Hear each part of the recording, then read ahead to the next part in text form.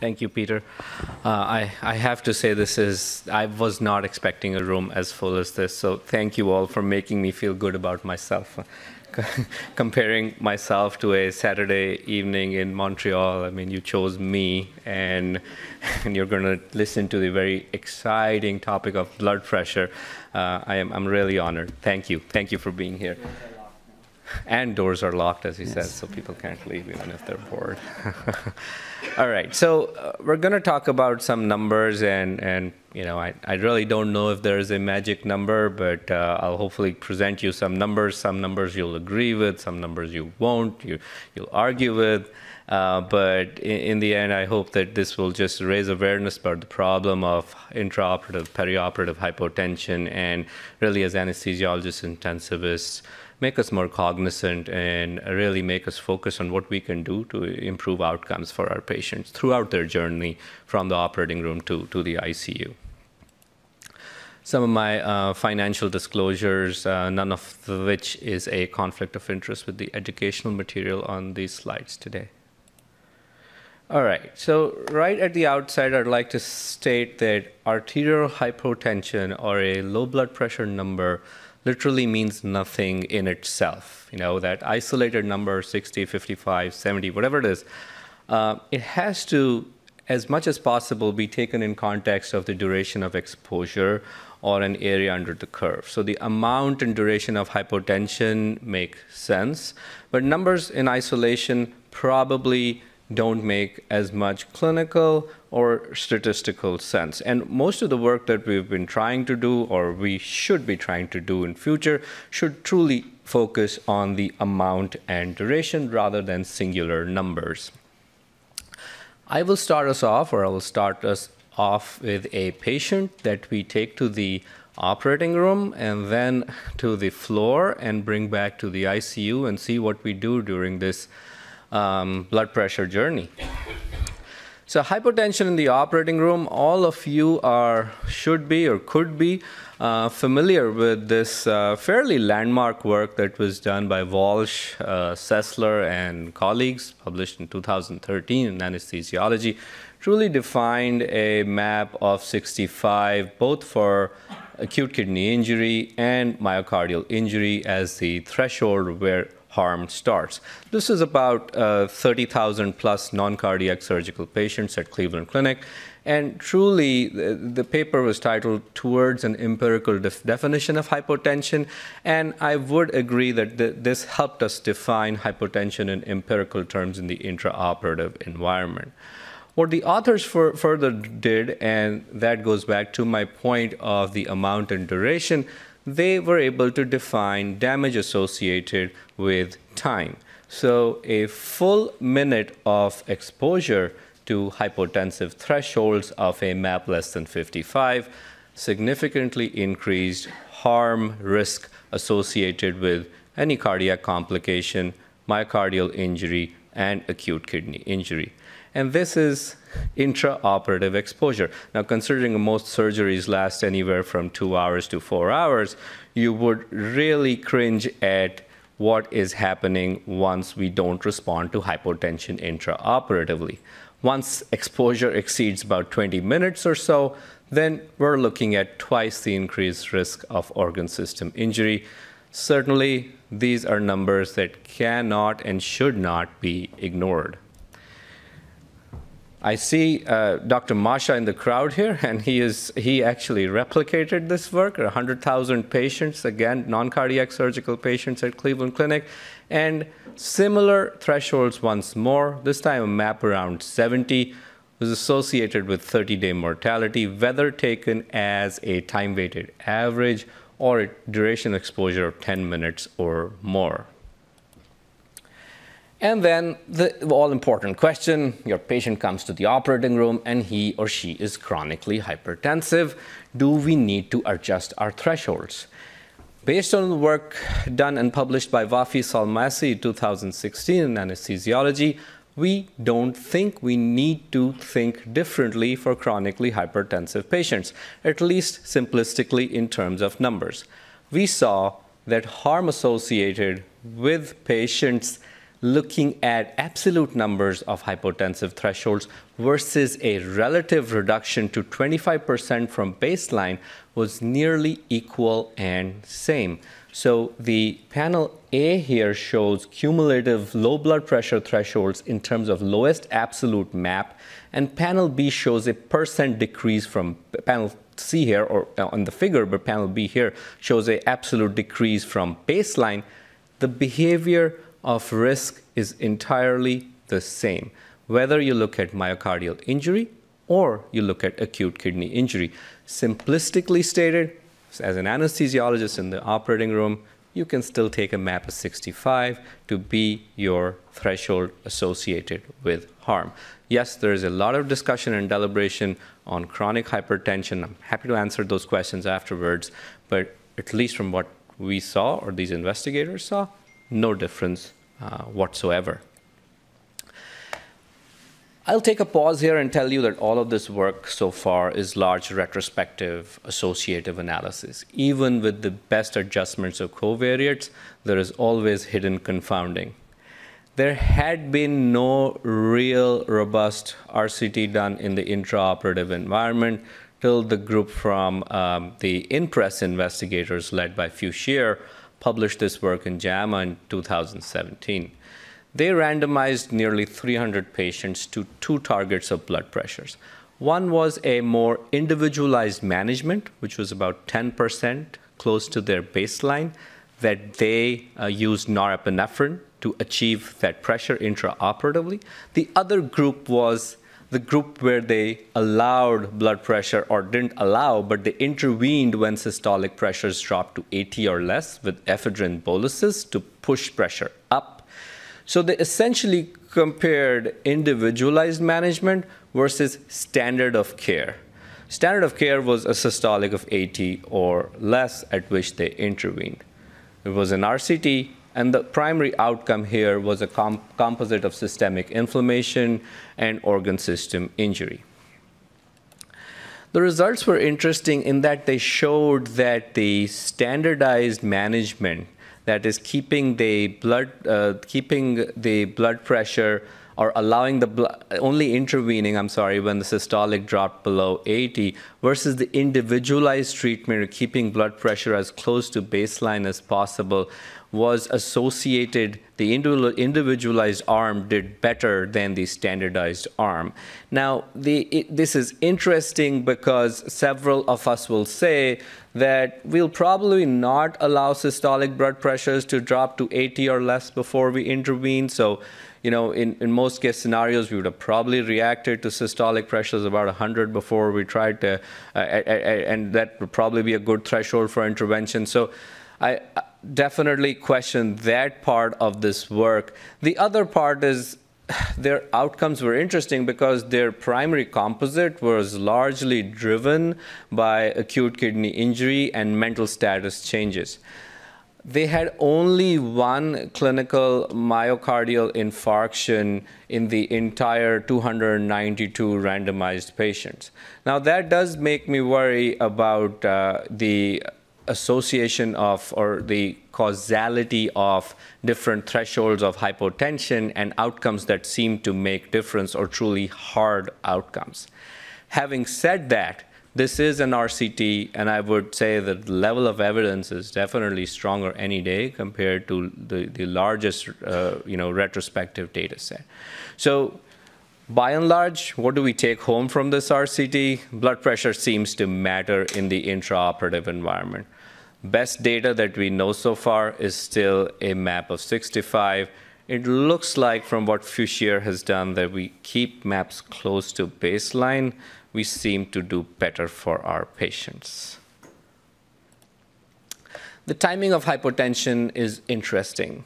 As anesthesiologists, we put our patients to sleep, and then we're generally busy in the operating room. We're putting IVs, we're prepping, and draping our patients, we're you know, putting a warming blanket on our patients. Next time you look around on the monitor, your pressure is probably 80 or 50, your propofol's now kicked in, and all of us will intervene at some stage, try and you know, correct the pressure. Now, it, this, this peri-induction hypotension seems critical. Uh, Maheshwari and colleagues published this work in anesthesia fairly recently, where they saw that of all MAP threshold readings less than 65, about 36% of them occurred in the period immediately after induction to the point of incision. And comparing induction to incision hypotension and incision to end of surgery hypotension, both of them were equally and independently associated with postoperative acute kidney injury. So while we cannot control what our friends, the surgeons, do to, you know, put holes in blood vessels and drop blood pressure, we can certainly control what we do and probably do a better job at, at managing peri-induction hypotension because it seems to make a pretty significant difference in organ system injury. Again, a place where we can truly make a difference. What about tachycardia? Tachycardia seems to be, you know, generally intimately associated with hypotension. Uh, you know, unless your patient's heavily beta blocked or has myocardial injury or myocardial depression from another cause. Now, mostly you would assume that tachycardia should make a difference in myocardial injury or mortality. The interesting thing that um, these investigators saw that was that tachycardia just by itself seemed to not make too much of a difference when, it, when we looked at a primary composite of myocardial injury or mortality. Now, contrastingly, what Abbott and colleagues published was interesting because they looked at different thresholds of tachycardia and different thresholds of blood pressure, and at extremes of blood pressure, tachycardia seemed to make a difference when we looked at myocardial injury. Now, uh, truly, tachycardia, I would still say, uh, seems to reasonably make a difference if it's prolonged and associated with, with hemodynamic perturbations. Again, as perioperative physicians, it is incumbent on us to certainly control for that tachycardia uh, to, to allow our patients a safer uh, recovery. I would not take uh, tachycardia lightly. What about other components of blood pressure? So we've harped on MAP, and we've always talked about MAP, but MAP is probably not the only number that we're looking at. Uh, this is uh, fairly, um, uh, this, this data is as yet unpublished. And, and uh, again, I'm not going to go into huge details, but what has been seen, this is radial artery derived blood pressure components. And uh, if you look at visual cut points of systolic blood pressure, MAP, diastolic blood pressure and lowest pulse pressure for a minimum of at least five minutes of exposure. All of these seem to make a difference. Systolic blood pressure threshold about 90, diastolic about 80, 45, MAP 65, and a pulse pressure of 35. What can be seen here is that diastolic blood pressure is slightly flat when we look at the predicted probability of myocardial injury compared to systolic and MAP. So simplistically speaking, again, MAP and systolic blood pressure seem to be the bigger driving components when it comes to uh, various components of blood pressure that are associated with harm. Another way of looking at the same thing here looking at myocardial injury and acute kidney injury separately in the two panels. Again, uh, MAP and systolic blood pressure seem to have a more steeper slope when we look at uh, a standard deviation less than mean in both of the panels. So systolic of 90 and MAP of 65, we at least have some good numbers from the operating room. And at, at this point, I, I, am hoping that all of us have done a reasonably good job. We've kept our patient above a map of 65, above a systolic of 90, not allowed our patient to get unreasonably tachycardic for prolonged periods of time. At this point, you are dropping your patient off in the PACU. PACU is still a very well monitored environment. Your patient has met discharge criteria from the PACU and is being sent to the floor. Most of us as anesthesiologists will probably, you know, go home at this point and say, okay, job's done, patients to the floor, things look okay. The issue is that our patients go to the floor or hospital wards, and while we believe that these are low acuity settings, That is not necessarily always the case. Now, based on our best knowledge, we do know that most myocardial infarctions occur, almost all of them occur postoperatively in the first one to three days. And when they do occur, they're mostly silent. And uh, silent myocardial injury is almost as, as much associated with mortality as myocardial injury with clinical signs and symptoms. So you leave your patient to the floor, patient's being monitored only once in every four hours. That's where all the drama seems to occur, and that's where we're probably not intervening. Ward hypotension and hypoxemia, based on work that we have done so far, seems to be really, really common and not only is it common, it is unprecedented, unpredictable, and fairly persistent. Postoperative 30 days after surgery, if taken as a disease entity, are only the third most common cause of death in the United States after disease of the, diseases of the heart and malignancies. So certainly not a period to be uh, taken uh, lightly at all. And if you look at the fraction of attributable mortality in the postoperative period, most of it, at least a fifth of it, is derived from myocardial injury. So, we examined what happens to blood pressure on the floor. This work that was just recently published in Anesthesiology is the result of continuous portable blood pressure monitoring of patients on the general care floor after non cardiac surgery. And what we uncovered was really interesting. so if, if you looked at a threshold map of about 65 right here for 15 continuous minutes, about 20% of our patients were at a threshold map of 65 or less for 15 continuous minutes. Again, map of 70, the, those, those patients are about 30% right here. Now, the important part is that up to 50% of this hypotension was unnoticed and unrecorded based on standard snapshots in time, vital signs monitoring on the general care floor.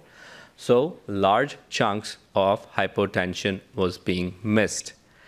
It gets more interesting in my next slide because contrary to popular belief, hypertension was at least as common and missed more commonly with intermittent monitoring on the general care floor. We looked at maps greater than 110, and again, exposure thresholds were similar, but up to 70% of maps greater than 110 were missed based on continuous monitoring compared to snapshots in time, vital sign monitoring.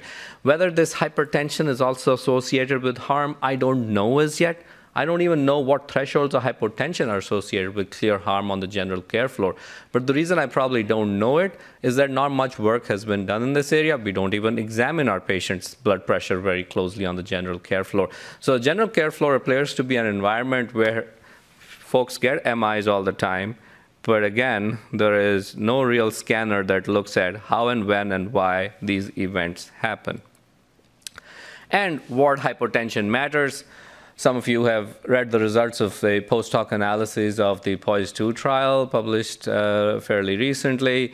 Dan Sessler again uh, elegantly demonstrates that hypotension, in fact, my next slide shows it better right here. Hypotension on post op day 1 to 4 is associated with the risk of myocardial injury and or mortality but looking at the amount of risk and comparing it with hypotension on post-op day 0 or intraoperative hypotension this risk is about 3 times as much as the same uh, outcomes associated with hypotension exposure intraoperatively for 10 or 30 minutes and or post-op day 0 for 10 or 30 minutes. So again I'll harp on the same point Patients go to the floor, they die, they're probably hypotensive, we're missing these hypotensive events, and this harm is, appears to be way uh, stronger of an association compared to the intraoperative period. Let's bring our patient back to the ICU. I, am hoping that you know he or she is pr probably not crashed as yet, but still had a period of hypotension or hypertension. And as this lovely spaghetti of IV lines uh, shows you here, which a lot of us uh, have been um, very familiar with during our training days or otherwise, when you drop a patient to the ICU, especially from the operating room, ICU hyper, hypotension is never easy. I will talk about several associations of hypotension associated harm in the critical care environment. I have to warn you and tell you that associations in the ICU will never be easy. Patients who are critically ill are dying of several other reasons, but just blood pressure changes. I do believe that uh, and, uh, that uh, blood pressure is a significant uh, variable in the ICU, but I have to tell you that again, more needs to be done in the ICU as well, even before I start these slides. So, what is an appropriate map in the ICU? Again, a lot of data from these studies, right from the year 2000 up to 2014. You know, look at the numbers here 10, 28, 11, 16, small numbers of patients. Not till Asfar's group in France published the work of the sepsis PAM investigators did we ever have an RCT looking at blood pressure targets and ICU outcomes. And a lot of us uh, uh, intensivists are familiar with this work. His low blood pressure target group was a map of 65 to 70. His high blood pressure target group was a map of 80 to 85. Kaplan-Meier curves tell you the story. There is no difference in 28-day or 90-day mortality. Now, there were um, several, uh, I wouldn't say entirely limitations, but, but side points to this trial. One of the major ones is blood pressure was overshot in each arm. So low blood pressure was actually 70 to 75. High blood pressure was 85 to 90. They did not look at myocardial injury. There was very few myocardial infarctions. Finally, there was also acute kidney injury, which was more common in the low blood pressure group, especially when patients had chronic hypertension to start off with. And there was more atrial arrhythmias in the high blood pressure group, which kind of deterred us from going towards higher blood pressures, at least based on this work. So, a lot of interesting things that, that came from this trial, and truly the only landmark trial in this space. But um, is, is, it, is it the be all and all of how we manage blood pressure in the ICU? Like a lot of other things I've said today, probably not. The surviving sepsis guidelines are educating us for a map of 65. And I do believe that this is with reasonable level of evidence. However, as this data here suggests, we are not doing a good job defending a map of 65. This is data from the MIMIC database that we presented last year. Exposure to blood pressure thresholds of 65, 60, and 55.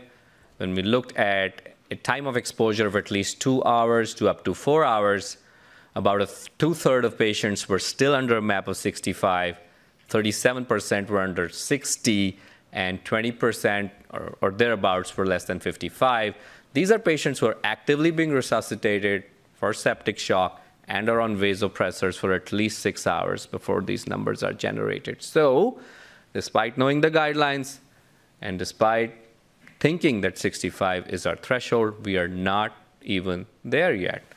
And when that hypotension happens, as, as, as, as you'd estimate, the mortality increases in all three thresholds pretty significantly, all the way up to 60 or 70% right here.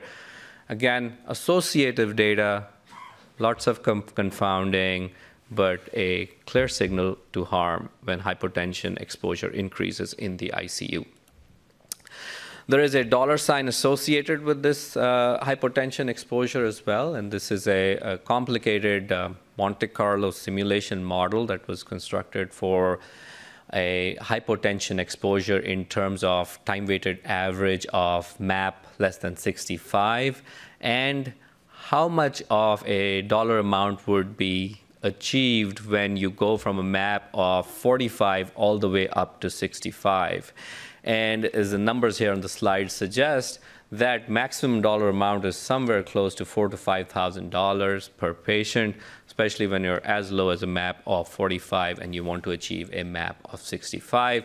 Again, much work needs to be done in true cost-effective analyses when we look at hypotension exposure, because we have to take into consideration vasopressors, their costs, and those things as well.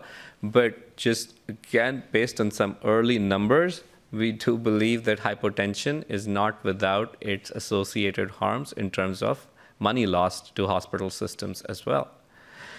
What is the true threshold of hypotension in the ICU? And I know, all of you are waiting for uh, some of the more controversial numbers to come up here. So here we go. So 3,000 postoperative patients in the surgical ICU, direct admissions from the operating room to the ICU. And what we saw was that there was a strong quadratic or a nonlinear association of the lowest map on any given day and a primary outcome of myocardial injury and or mortality. We just published this work in critical care medicine and our median here for our entire ICU population was a fairly high map, a map of 87. However, just as an example, a patient who had a lowest map on any given day of 78 versus another patient who has a lower lowest map on any given day of uh, 67, the difference right here is an increased, substantially increased risk of nearly about 50% between these two patients of a primary outcome of myocardial injury and or mortality.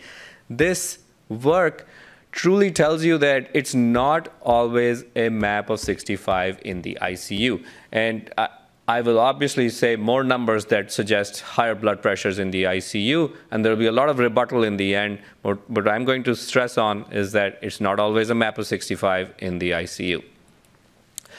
The duration seemed to matter. Every hour spent at a map less than 80 and or any duration of map less than 70 seemed to make a strong uh, difference and, and a had a strong association with primary and secondary outcome. Secondary outcome was acute kidney injury in this study. This was certainly not a, uh, uh, you know, a one-time thing. We had previously seen in a cohort of nearly 9,000 critically ill patients across 110 ICUs in the country, where we had determined a single unit of a time-weighted average less than a map of 65 was associated with increased harms, and the harms were about, you know, 10 to 11 percent of uh, association with myocardial injury and mortality, and about 7 percent of an association with acute kidney injury. The interesting part to this work was that this harm started at a map of 85. So a map of 85 is where mortality, AKI, and myocardial injury seem to start increasing in odds ratio. And as sorry, as we went down, there was a near stepwise progressive increase in mortality and acute kidney injury, and a near stepwise increase in myocardial injury as well. So again, is it a map of 85? I'm not very sure yet, but it's certainly not a map of 65 all the time. This is very early data looking at delirium in the ICU, and again, a fairly multifactorial problem, but 75 seems to be the cut point here, where below, above and below 75 in the ICU seems to make a difference in delirium as an outcome. And yes, I will say it again and again, delirium is a incredibly complicated problem, and I would never associate delirium with just a single uh, variable like hypotension. But is hypotension one of the major players in delirium? It seems uh, that we do better for our patients when we keep them at a higher blood pressure in the ICU. And I have more data to substantiate that. And this is work from the sepsis PAM investigators themselves that was just published in the Annals of Intensive Care. This is a post hoc analysis of the sepsis PAM trial.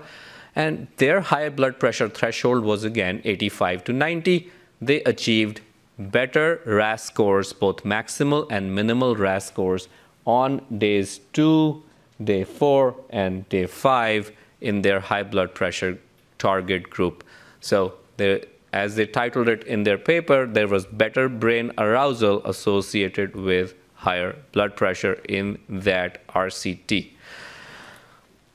Finally, hypotension in the critically ill also happens when we intubate our patients in the ICU. They're usually in, a spot of bother when you intubate them, and mostly after intubation, there is a drop in blood pressure. Uh, Nathan Smischney, who's an investigator from the Mayo Clinic, and myself, we've uh, worked with a large group of investigators across the country where we've collected prospective blood pressure data during hypotension, and during, sorry, intubation processes in, in the ICU across about 20 centers. And again, this is unpublished work as yet. uh, where we're trying to develop a model that will predict post-intubation hypotension in the ICU.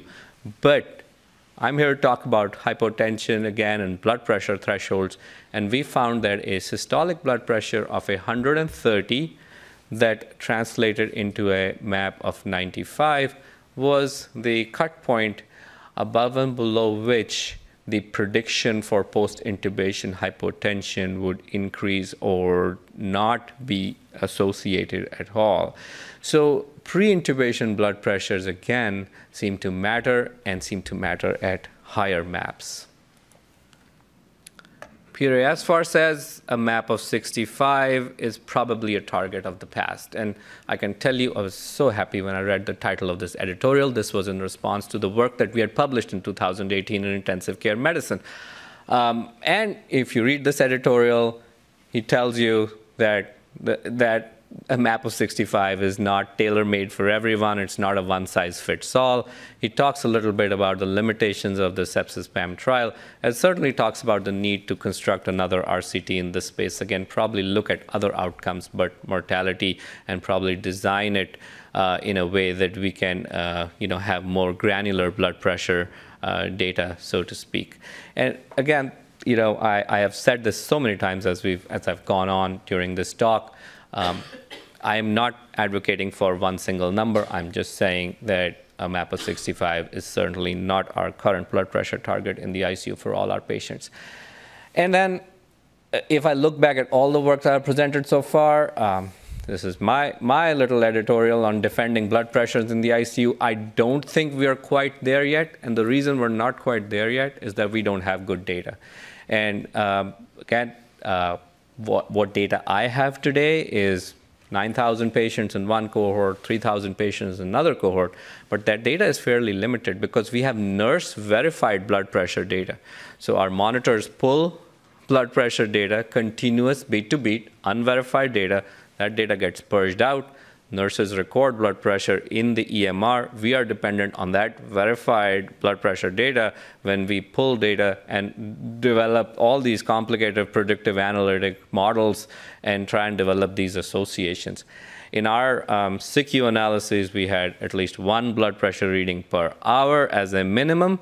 In the 9,000 patient cohort, we had an exclusion cutoff point of not more than two missing blood pressure readings every five hours.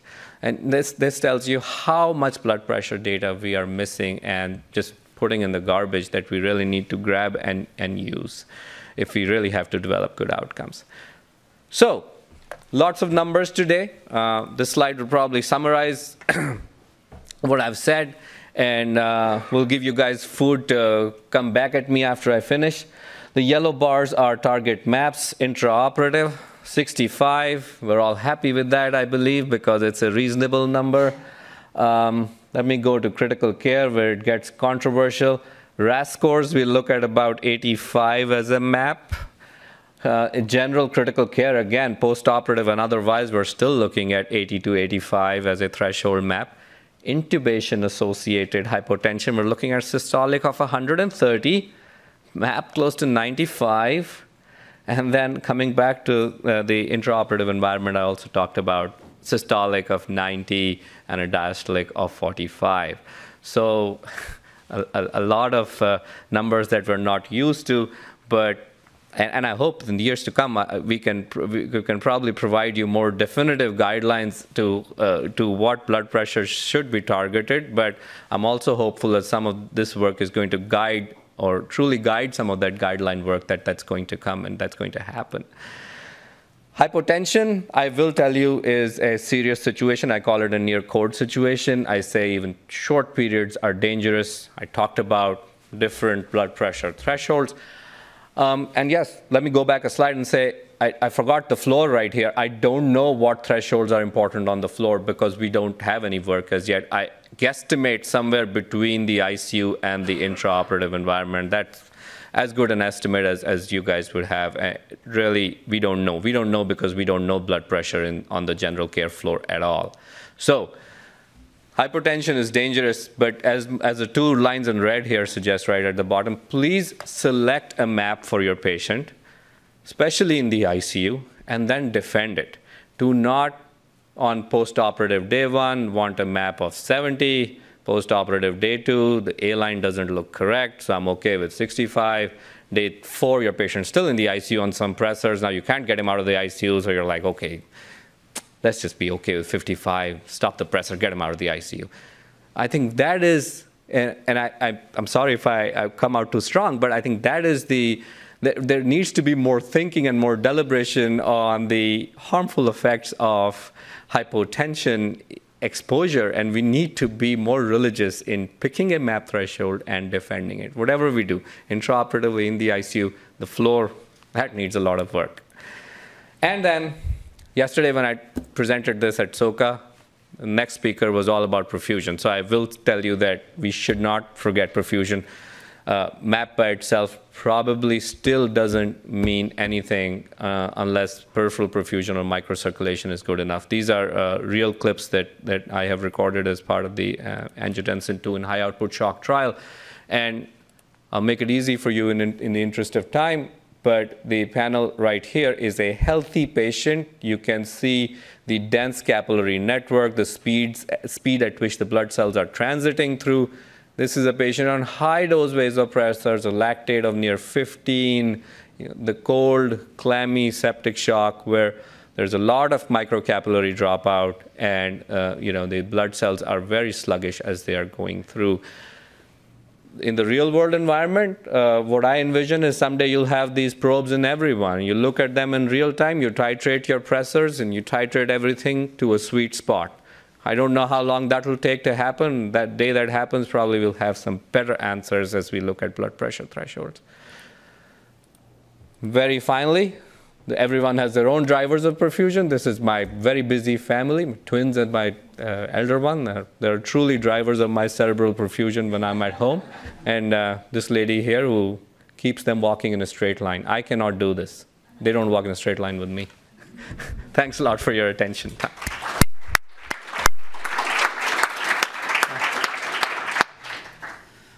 Well, Ashish, thank you for an excellent summary this complex topic. Is there questions in the audience? All right, Dr. Akshay. Just a quick question. Now we have all the data on uh, at least postoperative uh, cardiac events versus acute kidney injury. Do we have any new data on when we keep these blood pressures in these goals, that we decrease these uh, percentages? So, so, the question really is, if we if we are able to achieve these high blood pressure targets, are we able to decrease these events? That that is an interventional trial that that we should be doing, and we don't have that data, unfortunately. That uh, that would probably strengthen my argument again, if I'm able to show that. Yes. Um, um, you have any uh, information? I, I this at the very beginning but around how demographics or age or other characteristics impact this, because you know you kind of think that that the uh, the uh, average would be significantly different uh, for in terms of age and other characteristics, right? So for the MIMIC database, the the, the demographic is was we did have a significant association where increasing age was independently associated with a poor outcome in the ICU, and increasing age was also associated with more hypotension in the ICU. But for all the other work that I've shown so far, we did adequately control for, we were able to adequately control for the uh, age parameter, and we didn't show any independent associations of age. Saying the opposite. So can you use age to determine a better threshold for a given individual? because you'd expect the, you know, the threshold perhaps in a 90-year-old to be 85 and a, and a 20-year-old to be 65. That's, that was my question. With the data you have, can you parse that out?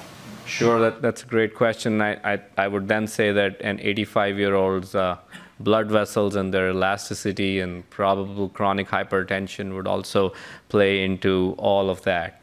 Um, we, I haven't gotten to those complexities as yet, and uh, all of these are great ideas for future work.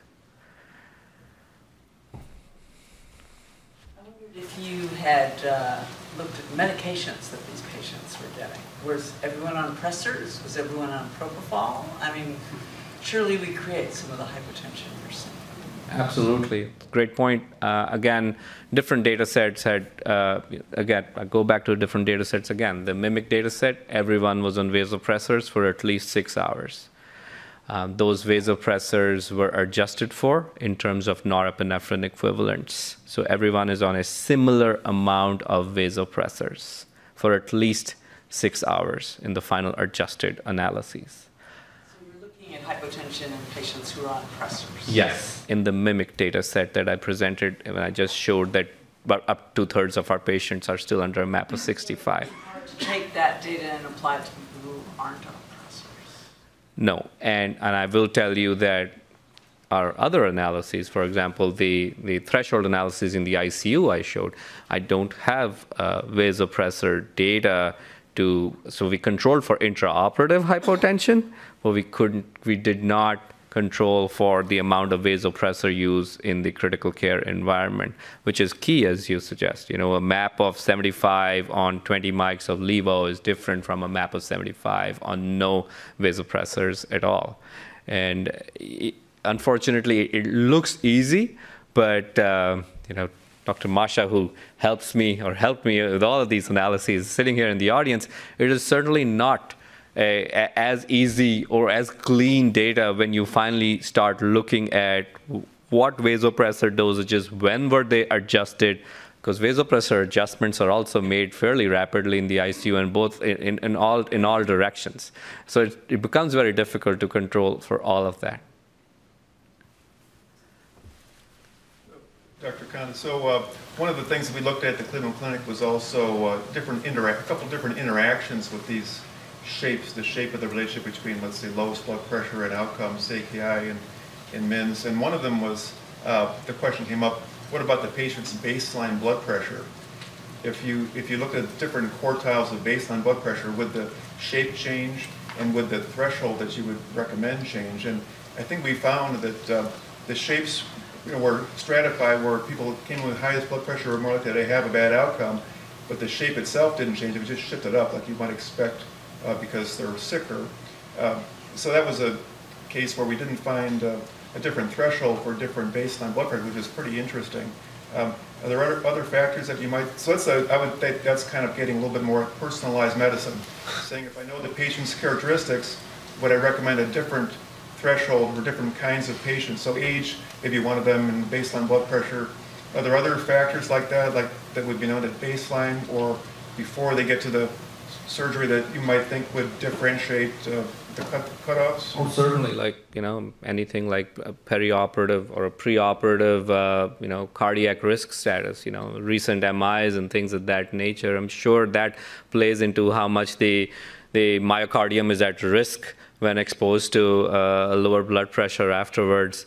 I would say the amount of intraoperative hypotension, certainly something that I didn't talk about in our surgical ICU analyses. We all of our post-operative outcomes associated with hypotension were cr critically dependent on exposure to intraoperative hypotension, and that would seem to make logical sense. You know, your patient's hypotensive for long durations of time intraoperatively that in itself drives a lot of postoperative uh, organ system injury when your patient goes directly to the ICU from the intraoperative environment.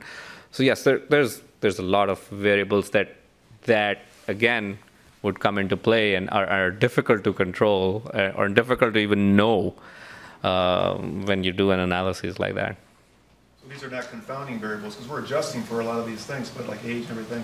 So the interaction is to say should we give everybody the same treatment or not? And I think probably probably not, but I don't know the answer to the to the question. Yes. Uh, uh, can I go with her first? Yes. I'm uh, Dr. Peggy Duke from Atlanta, Georgia, Emory for over 35 years, cardiothoracic anesthesiologist. And I had a, this is a comment, not a question. My rule of thumb was the mean arterial pressure should be at least the patient's age, once they were 80 or older, or a little bit above. So if they were 80, I looked for a mean arterial pressure of 80. If they were 90, and we took, I took care of 90-year-olds. You know, I wanted their mean pressure to be 85, 90, and that was my rule of thumb. I like you. I like you. I want you to sit on the panel with me next year. but uh, again, you know, did you apply these rules to cardiac surgery? That's all I did. Okay, Cardiac- that's interesting because all of our data is non-cardiac surgery, and and you know sometimes cardiac surgery can get interesting post-operatively because uh, cardiac surgeons would actually want lower pressure, especially when they're trying to protect their valve or you know their big arch surgery. That was the more rare time that you would actually want, you know, that you really were very concerned about that aorta. Right. That was not a common thing. You could easily, and I could convince my surgeon that this patient needed a pressure of 80 or 85, not 70 or 65. Great, thank you. I actually wanted to ask Dr. Wiener Kronish's question in a different way from referring to that Futier study. Do you think that norepinephrine has a role in the results where they had not much of a difference in blood pressures, but patients' outcomes were really different? And there was only one myocardial uh, event, and mostly it's uh, delirium and uh, AKI, I believe. Again, uh, why they chose norepinephrine in one arm versus ephedrine in the other arm, I think it's probably for sake of uh, the fact that ephedrine boluses are easier to administer in the uh, operating room environment. I do think that tachycardia associated with norepinephrine would have probably weighed into, um, if anything, if my best guesstimate, it should have been associated with more adverse outcomes. Um, but I am not certain if it truly made a difference one way or the other. Would, would you have designed this differently? I don't know. I'm puzzled with that study, and uh, we did three journal clubs on it, and uh, in, I had a chance to think about it so many times I couldn't explain. Uh, Sure. The other thing is that they didn't really truly define thresholds associated with harm. So I still don't know what low blood pressure threshold was associated with harm. It was simply if you, you know, if the blood pressure dropped below systolic of 80 and then you treated it, that arm didn't do as well as the other arm. But in the end, we don't know those extremes of blood pressure where the harm happened. So I, I myself was, was, was, was intrigued, but again, it is an RCT, is an RCT. I want to ask specifically about the general surgical patient who goes to the ward uh, for their first post-op night.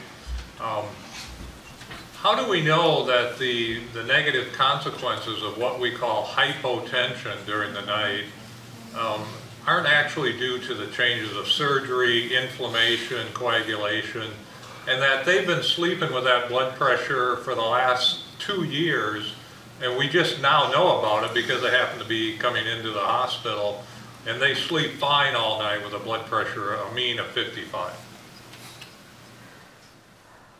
You guys are asking some wonderful questions. So yes, again, uh, uh, I, I would say if that, that inflammation kicks in post-operatively, that inflammation is probably damaging to the myocardium itself, and that increased thrombogenicity in the immediate post-operative period, or, or you know the, the other factors that that you know cause more of myocardial coronary thrombosis. All of that does weigh in, but simplistically speaking, if hypotension is one of those things that's driving inadequate perfusion, and that's something that we can correct and we're missing, then what I'm advocating for is very simple things simply uh, just monitor that blood pressure and at least keep your patients in a safe blood pressure uh, zone. Now, again, if we do an interventional trial where we continuously monitor everyone on the floor and we give everyone a good blood pressure and, and don't allow any hypotension and still it doesn't make a difference in outcomes, then I'd be convinced that you can sleep with hypotension post-operatively and that uh, so be it. But again, for the lack of my knowledge and lack of data, I would say I don't know this yet.